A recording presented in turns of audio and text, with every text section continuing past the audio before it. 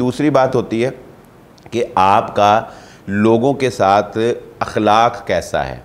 ये बात जहन नशीन रखें कि अखलाक सिर्फ़ तब ही ज़ाहिर नहीं होता कि जब आप किसी के साथ मजलिस में बैठते हैं।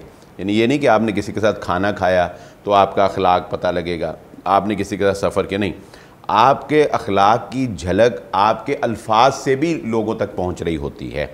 अगर आपके अखलाक में जो है वो सख्ती है, या आपके अखलाक में एक रूड रवैया जो है वो ज़्यादा है, या अगर आपके अखलाक में एक तकबराना जो है वो पन है या उजब है आपके अंदर तो ये उजब, ये तकबर ये ख़ुद पसंदी और ये बुरा रवैया, दूसरों को हकीर समझना, ये चीज़ें अगर आपके अंदर हैं तो आपके अल्फाज, आपकी गुफ्तु में भी ये झलकेंगी और लोगों तक पहुँचेंगी और लोग उसको महसूस करेंगे।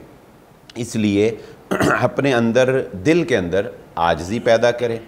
अच्छा अखलाक, लोगों की खैर ख्वाही, दर्द दिल, लोगों का, ये चीज़ें जो हैं, ये इल्मी गुफ्तु से पहले, ख़ताबत से पहले एक ख़तीब के अंदर जो है वो आनी चाहिए।